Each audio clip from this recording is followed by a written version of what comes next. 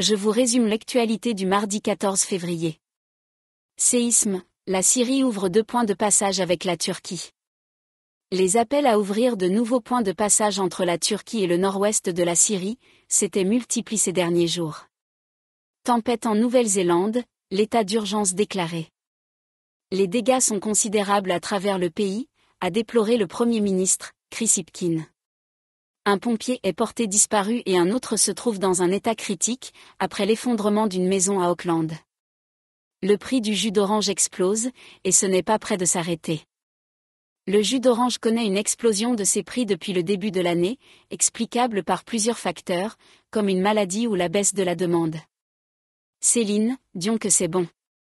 Donne encore à une version fantasmée de l'icône québécoise, leur Matisse épate avec un spectacle conçu par Juliette Navy, plein d'improvisations fabuleuses. Jamais autant de députés n'avaient été sanctionnés depuis le début de la VE République. Avec deux exclusions temporaires en moins de trois mois et un député insoumis encore épinglé ce lundi pour ses propos dans l'hémicycle, le nombre de sanctions de parlementaires est inédit depuis 1958.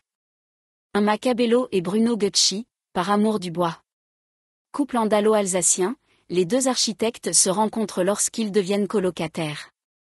Amoureux de la nature, ils ont depuis fondé leur agence au milieu des Vosges et mènent ensemble des projets de construction en chêne ou en mélèze.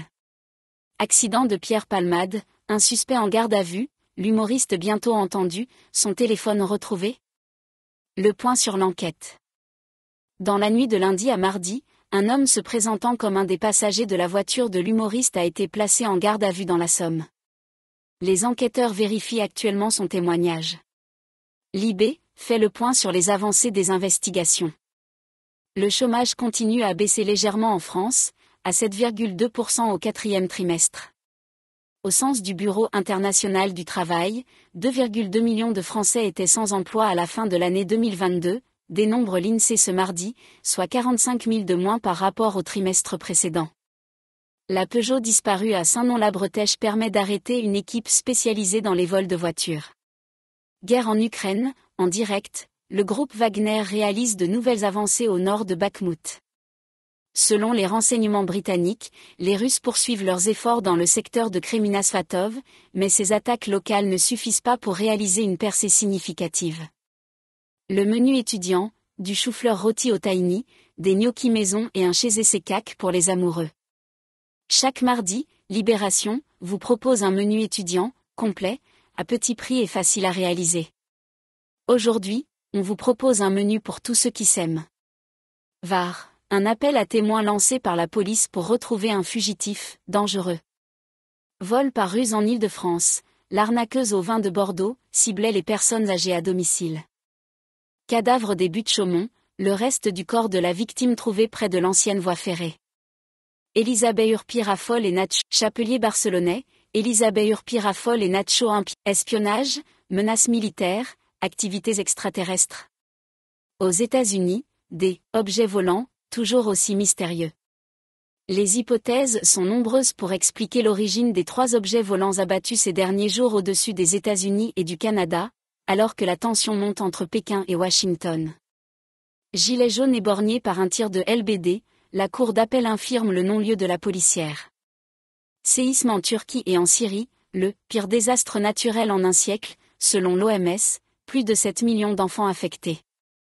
Alors que le séisme a fait 35 000 morts à ce stade, des millions d'enfants résidant dans les zones touchées ont été affectés par la catastrophe. L'UNICEF a déployé des travailleurs sociaux dans les hôpitaux en Turquie pour leur venir en aide. Accident de Pierre Palmade, pourquoi l'humoriste, sorti de réanimation, ne sera pas entendu dans l'immédiat? Pierre Alessandri, ex-membre du commando Erignac, officiellement en semi-liberté. Le patron de Wagner revendique la création d'une ferme à trolls russe. La Russie utilise des usines à trolls pour faire la promotion du Kremlin et décrédibiliser ses adversaires sur les réseaux sociaux. Mon frère réalise l'horreur de ce qu'il s'est passé, la sœur de Pierre Palmade s'exprime. Vidéo. Ça fait un peu paniquer, au but de Chaumont, de nouveaux restes humains découverts. Vidéo. Accident de Pierre Palmade, les seules victimes, ce sont mes clients, affirme l'avocat de la famille de la femme enceinte. LuxLeaks, la CEDH reconnaît le français Raphaël Allais comme lanceur d'alerte et condamne le Luxembourg. Soirée de l'ultra-droite interdite à Lille, ouverture d'une enquête pour provocation à la haine raciale. Grève contre la réforme des retraites, perturbations limitées dans les transports jeudi. Avec 4 TGV sur 5 et un flux quasi normal dans le métro parisien, le trafic sera peu perturbé jeudi, à l'occasion de la cinquième journée de mobilisation, annonce la SNCF et la RATP. Alain Maréco, condamné à tort d'outreau, on ne peut pas vivre avec cette accusation. Les États-Unis temporisent sur l'affaire des objets volants. La Maison-Blanche n'a pour l'instant. Mort d'Ibrahim Abba à Villiers-le-Bel, les trois policiers placés sous le statut de témoins assistés. Au but de Chaumont, le choc après la découverte d'un corps, je préfère quand on ne passe pas à la télé. Guerre en Ukraine, en direct, Kiev prend des mesures pour évacuer les derniers habitants de Bakhmut. Environ 5000 habitants se trouvent encore à Bakhmut en dépit du danger, ont annoncé, mardi, les autorités ukrainiennes. L'organisation paramilitaire Wagner, qui a recruté des milliers de prisonniers pour combattre en Ukraine, mène l'assaut sur la ville depuis l'été et a récemment conquis une série de localités avoisinantes. Essonne, prison avec sursis pour l'ex-comptable qui avait détroussé sa mère souffrant d'Alzheimer. Accident de Pierre Palmade, une enquête troublée par les rebondissements. Petite perturbation en vue pour jeudi, Bakhmut résiste encore, Pharrell Williams chez Vuitton.